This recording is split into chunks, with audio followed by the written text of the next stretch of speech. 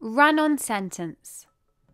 A run on sentence is when two independent clauses are joined together with no punctuation or conjunction.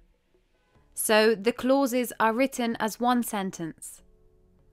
This is a common mistake. It can occur with short sentences or long sentences. An independent clause makes sense on its own. This type of clause contains a subject and a verb. For example, I like to play football, Sam likes to play tennis. Here we have two independent clauses. Each clause has a subject and a verb. Therefore, it's incorrect to put them together with no punctuation or conjunction.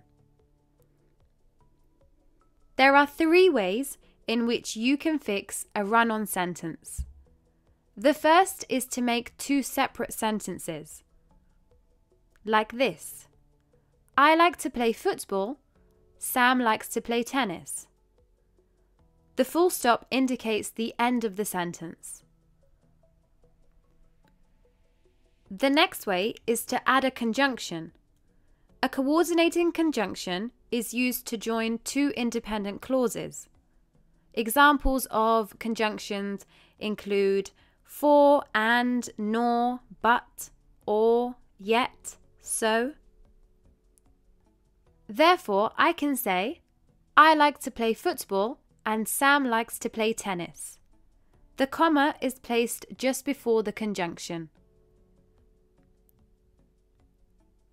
The last way to correct a run on sentence is to insert a semicolon, because semicolons can be used to join two independent clauses.